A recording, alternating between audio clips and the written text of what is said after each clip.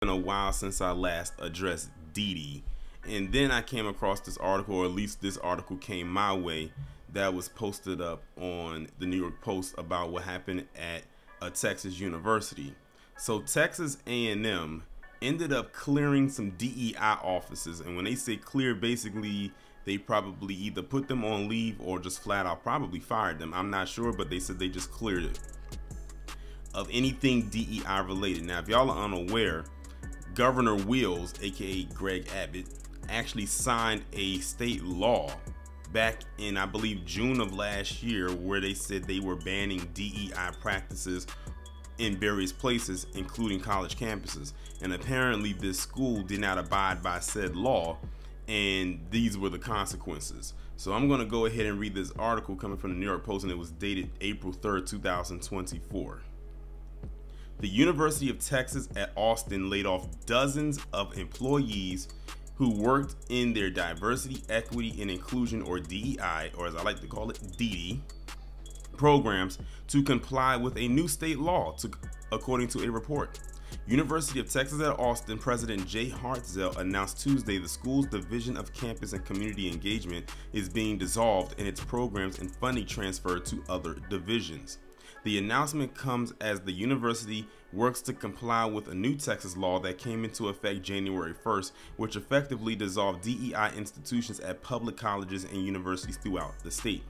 The Austin American Statesman reported that a person with knowledge about the situation said 60 positions that were related to DEI work were eliminated at UT Austin. The law mandates that all governing boards of public colleges and universities ensure that their institutions prohibit the establishment and maintenance of a DEI office and the issues of DEI statements. In addition, hiring practices and training are no longer able to use DEI statements. I recognize that strong feelings have surrounded SB 17 from the beginning and will shape many Longhorn perceptions of these measures, Hartzell wrote in reference to the new law. It is also important that this continues to be a welcoming, supportive community for all. In the message, Hartzell said student facing job facing jobs will remain throughout the rest of the semester and that laid off employees could apply for other positions at the university. Well, what if there is what if the jobs that they're applying for doesn't fit the criteria wherever they uh, where their talents would be used? They're just applying for a job they wouldn't even qualify for if you really be honest with yourselves.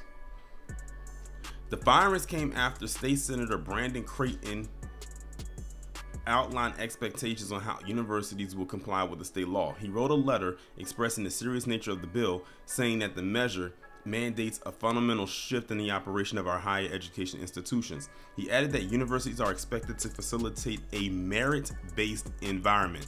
Now, I'm gonna go into a little bit more detail about that because they keep saying that they want everything to be very merit based, but there's a reason why a particular group within a group does not like DEI.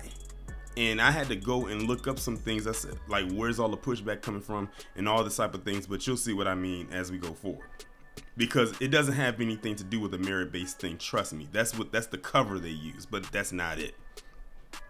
Furthermore, he explained that the Texas Senate Committee on Education is expected to hold a hearing in May, probing chancellors and general counsels of higher education institutions to show how their universities are complying with the law. If universities fail to comply with the state law, they could lose funding. Among five specific among five specific questions on compliance, university spokespeople are expected to explain how has your institution ensured that there are no DEI officers or officers on campus or no individuals or organizations performing the duties of a DEI office or officer? Cultural graduations were another casualty of the effect of the law, prompting outrage from some students. When the university's Multicultural Engagement Center, or EMC, was closed in compliance with the state's law, black graduation, Latina graduation, and graduation ceremonies were impacted as a result. Now, I never heard of it being broke down like that before, but okay. Representative Dan Crenshaw of Texas introduced a bill to freeze federal funding to colleges and universities that force students to sign or make statements on DEI. The University of Florida fired all of its DEI employees in compliance with state law last week. I'm not surprised by that because look at who's running the state of Florida. So they're basically telling you on yourselves right here that they are very, very, very much anti DEI and will go all the way as far as clearing all those things out in order to ensure that that does not come to fruition. Or if it's already there, you better find a way to get it out of there before we clear it out in the way we want it to. Now, remember at the beginning when I said it's, or well, somewhere in the middle part of the article, it's more than them saying, oh, it's just a, they want a fair and merit based system. Don't let them trick you with that. So, what I did was I said, let me just go in here and look up, you know, things about like with DEI and certain things in particular. And I found that a lot of the people that give the most pushback against DEI are white men. So when I typed that a certain some keywords into Google, I came across an article on Forbes that was dated March 30th, 2022. Yes, we're talking about a little over two years ago. And it was titled White Men Are Feeling Left Out of Diversity, Equity, and Inclusion. Why Should We Care and What Should We Do? And it was an article written up, but it also turned into an interview with some experts who really knew how to explain this. But it was one part of the article and it was before they got to the interview part that really stuck out to me. And you can see it screenshotted right there. It says white men hold most leadership positions and decision making power in US society and globally. So at first glance, it may seem surprising to learn that they are feeling excluded from anything. But according to the white men's leadership study, they actually that actually is a thing. A study of white men and DEI Nearly 70% report feeling quote unquote forgotten by diversity, equity, and inclusion efforts. Feeling uncertain about whether DEI includes them is the main reason they say they either disengage or are not as committed to it as others in their organization. Now, keep this in mind at the beginning of that paragraph, it said they hold the most leadership position and decision making powers in the US society and globally. But then it comes down to the bottom part where they feel excluded from it. But you almost of the power. You almost of the leadership positions or the most uh, decision making power, like it says in the US. But that's not enough of them. They want to have an autonomy on every sector as much as possible.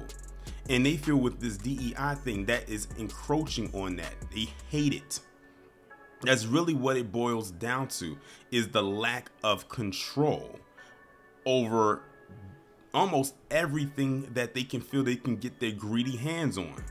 Because all you got to do is look at the people who keep pushing back against this the most. It's mainly always them.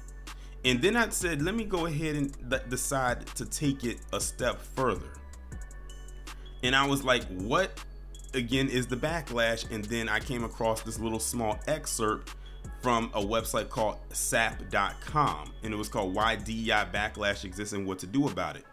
And it was three factors that came across it and that first one they mentioned was the one that I said I knew what it was. It says DEI experts point to common sources that underlie resistance, including a feeling of loss of control or autonomy, which is the ironically the first one they list because that's the main one. Then it goes on to a misunderstanding of the virtue of colorblindness. They don't misunderstand it, they know exactly what it is. And a belief that social equalities have already been addressed. So they feel like we've already talked about equality so many times. Why do we have to keep addressing it? In their like again, the way we would see equality as black people and the way they see it is is we're looking to, through two different lenses. I've always said that. Now keep in mind, DEI is not a new concept. This is something that was birthed practically out of affirmative action, which was signed into law by John F. Kennedy, a, a white man at that. Something that they created. Now they want to repeal and re- basically reverse. And like I said, anything that they come up with like this, whether it's affirmative action, CRT, and now DEI, it has their name on it every single time, but they have to find a low hanging fruit to go after, and it's usually us.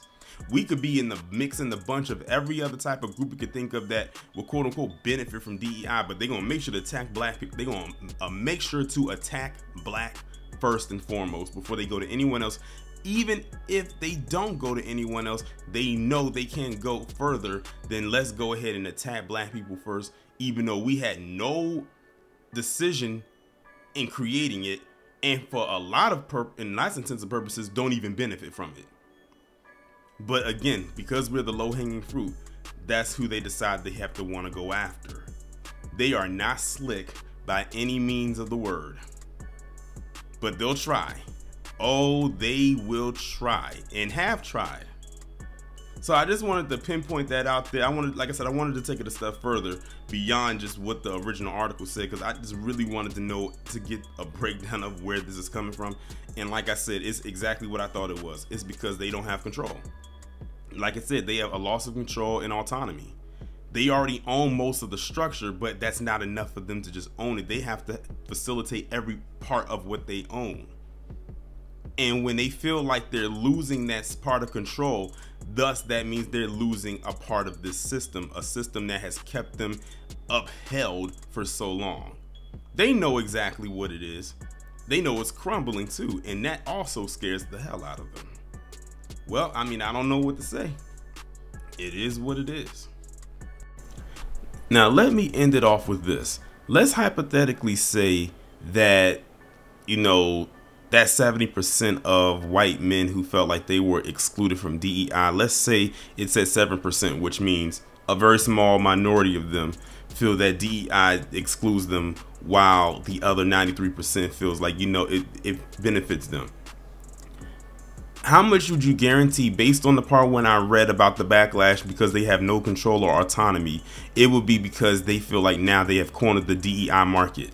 If they felt affirmative action CRT or DEI was to benefit them, then they would have no problem with it.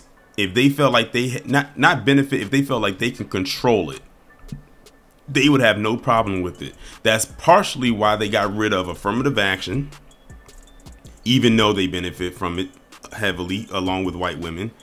Why they got rid of CRT, or why that's not a talking point anymore even though they benefited from it, and mainly white women, and why they don't like DEI because they don't control it, or they feel like they don't have a, a corner market of it. Whatever it is they feel they do not control or have a good chunk of and as far as power goes they do not agree with it and then that's when they start making up all these things and then they throw things out there at the wall to see what sticks. And of course like metal to a magnet you have these fools out here that will believe everything that they say when it comes about it. I'm telling you if dei or if if ever if dei goes away they're gonna have another something like Didi in the background waiting to be used and they're going to do the same exact thing with that too it's a literally a wash rinse repeat so again the reason why they're upset is because they don't have an autonomy or control or a market control of DEI. If they did, this would definitely not be an issue for them.